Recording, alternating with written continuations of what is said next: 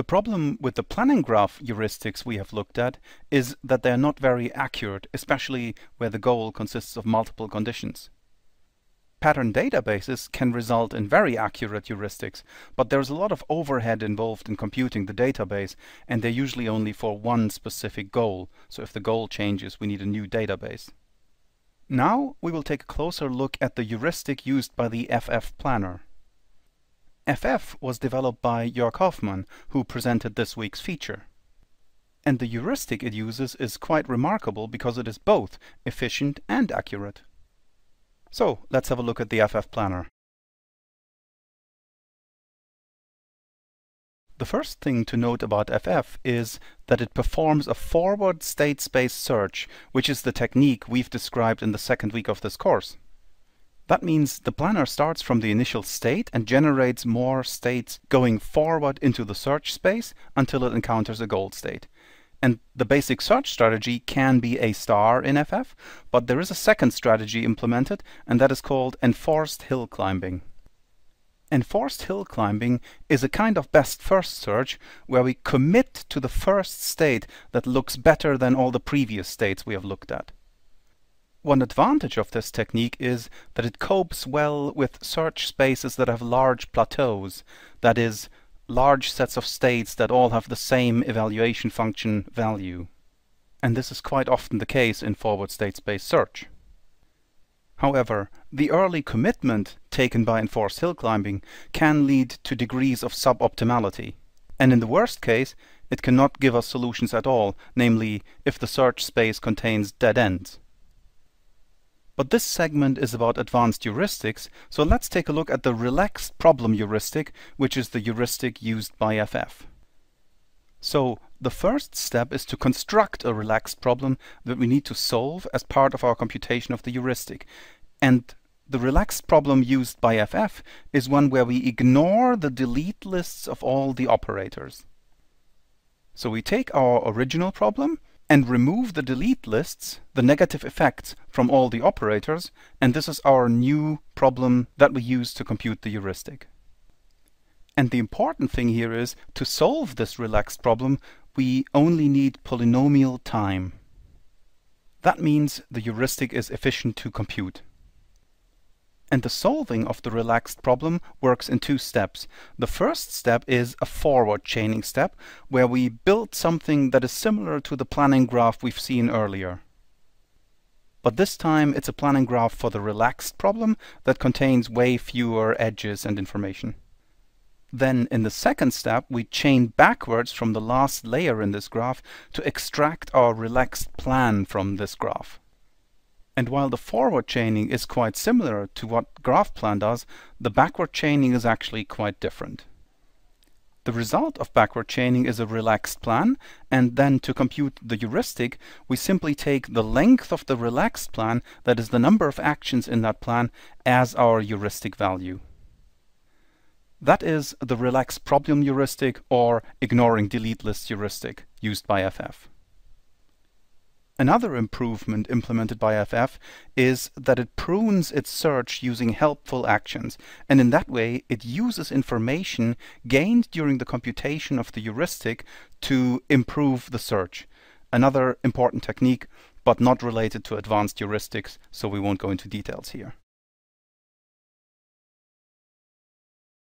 And here is the idea of the relaxed planning problem applied to ex the example we have used earlier. What we see here are the three operators from our simplified dockworker robot domain where the robots had cranes to load and unload containers. And to compute the relaxed planning problem, we simply remove all the delete lists, that is the negative effects from all the operators. So we remove the not ARL from the first operator, then not in CL and not unloaded R from load, and not loaded from the final operator. It's that simple. What this gives us is a planning problem that contains some magical objects. For example, looking at the first operator where we move the robot R from location L to L prime. The precondition is that the robot is at location L, and as a result of this operator, we will have the robot at location L prime. But because we've removed the negative effect, the robot would still be at location L, so it's now in both places. And the same goes for the containers in the other actions. The containers, after a load or an unload action, remain in the place where they used to be, but they're also in the new place where we just put them with this operator. And that's the problem we need to solve to compute the relaxed problem heuristic. And here is the pseudocode that performs the forward chaining and computes the relaxed planning graph. And this is defined by a function compute RPG for relaxed planning graph that takes as input a planning problem, and this is already the relaxed planning problem. Then the first thing we do is some initialization, and we start off with a set of fluents. These are state propositions that hold in the initial state, and we have an index t that tells us where in our planning graph we are and this is followed by a loop that extends our planning graph with one action layer and one proposition layer at a time. This is this loop here. And the first thing we do in this loop is increase the index of the layer we're currently working on, that's here. Then we compute the next action layer, which consists of all the actions that have their preconditions satisfied in the preceding proposition layer or layer of fluents F. So that gives us the next action layer AT, and then we need to compute the next proposition layer FT, and we start by initializing that with the propositions that were true in the previous proposition layer FT minus 1. And then we go through all the actions in our preceding action layer and add the positive effects that come with these actions to our layer of propositions, giving us an extended layer of propositions then there are two ways in which this can terminate. The first one is given as the condition in the while loop up here, and that says we terminate when all the goal conditions are part of our last proposition layer that we generate here. And the other condition is down here. That says when our proposition layer is no longer increasing, then we can return failure, because that means we're still in the loop. So our goal conditions are not part of the last proposition layer, and we don't increase that layer, and therefore we can return failure. But if we terminate this loop normally, which is here, then we go to the next statement after the loop, which simply returns the relaxed planning graph we have generated here. While this is somewhat similar to the expansion of the planning graph, you will have noticed that we're not computing any mutex relations here. And that also means that our relaxed planning graph will be smaller than the planning graph generated by GraphPlan, because this condition for termination is actually much simpler, and we terminate sooner.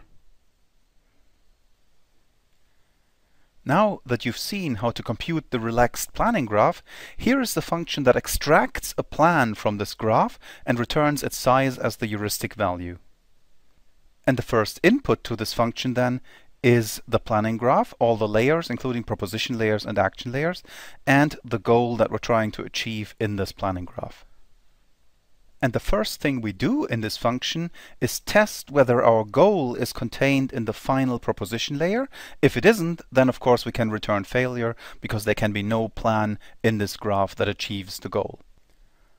Otherwise, we continue by computing the last layer in this planning graph that we still need to consider, and that's what the variable m has. And the way we compute this is that we use a new function, first level, which we haven't introduced yet. So this function takes here a goal and the layers in the planning graph and tells us in which layer this goal first appears in the planning graph. So it gives us the index of the first layer of this goal in the planning graph. And m is then simply the maximum of all the values for all the goals. Then we can start with the backward chaining. And the way this function works, we don't simply start at the last layer, but we start in different layers, and we don't just move one layer at a time towards the initial state, but we can actually skip several layers. And here's how that works.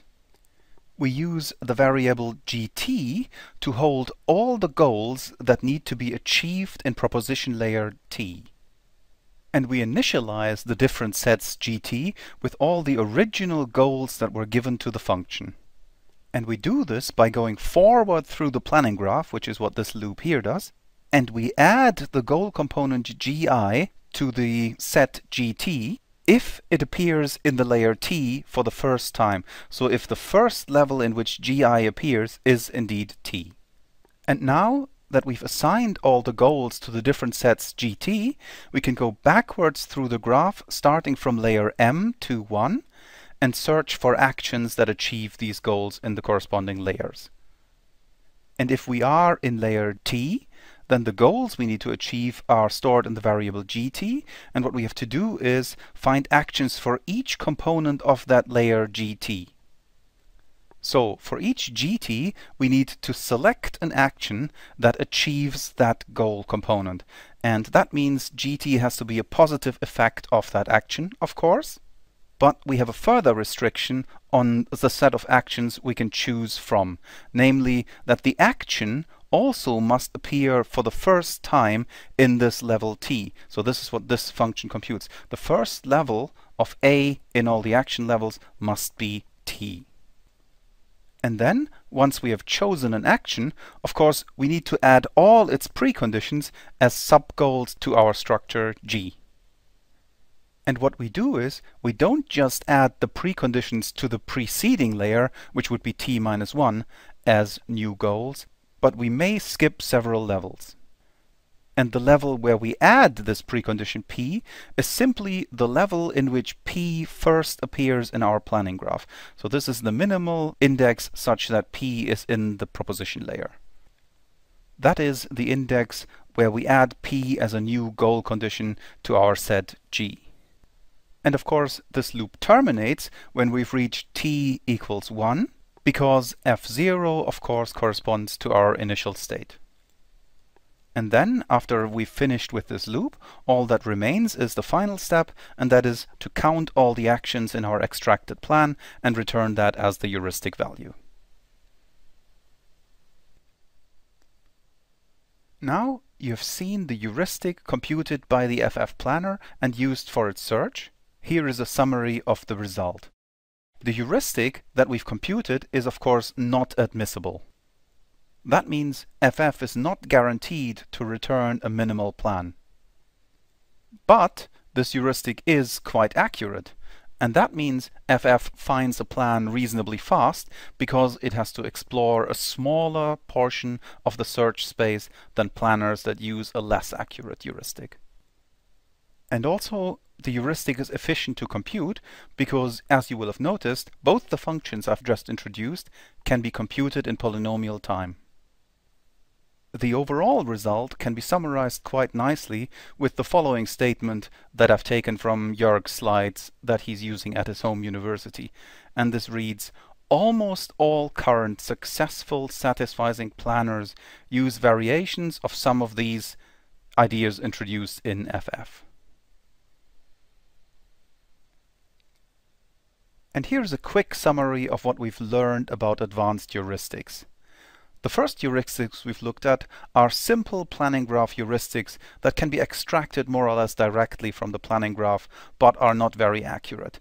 Then we have looked at pattern database heuristics, which are very accurate, but have significant overhead in their computation, which can be done before the search for a plan but they're also not very flexible in that the database needs to be recomputed for different goals or different objects in the domain.